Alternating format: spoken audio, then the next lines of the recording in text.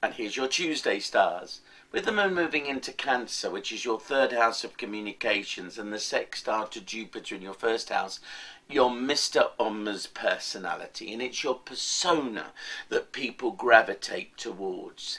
The more laughing you are, the more happy you are.